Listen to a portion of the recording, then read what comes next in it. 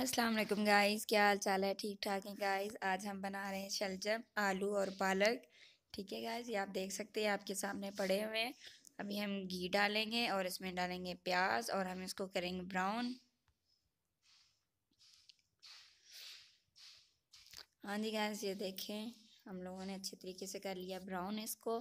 और इसमें हम लोग डालेंगे अदरक, लहसुन का पेस्ट और हरी मिर्चें। हम इसको एक से दो मिनट तक अच्छे तरीके से पकाएँगे। और इसके बाद हम लोग जो आपके पास लहसन की भूखे हैं तो वो भी आप इस्तेमाल कर सकते हैं इसमें। हम लोगों ने लिए हैं टमाटर और लहसुन की भूखे। अच्छे तरीके से इसको पकाएँ। एक से दो मिनट तक इस पर दम पे रख दें।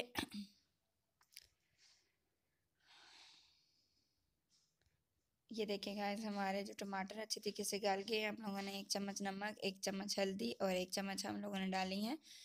मिर्चें डालनी है हंसबे ज़ायका आप लोग डाल सकते हैं।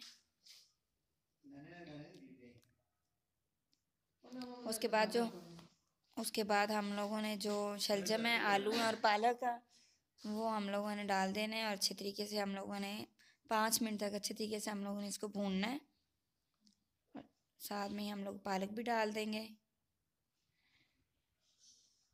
और इसको अच्छे तरीके से मिक्स कर दें। ये देखें गाइस मिक्स हो गए हैं और इसको हम पंद्रह मिनट से बीस मिनट तक हल्की आँच पे रख देंगे।